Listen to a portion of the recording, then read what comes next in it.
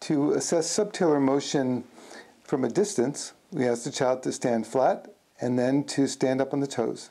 Here you can see valgus hind foot, too many toes pointing on the outside. Now, Xander, stand up on your toes, please.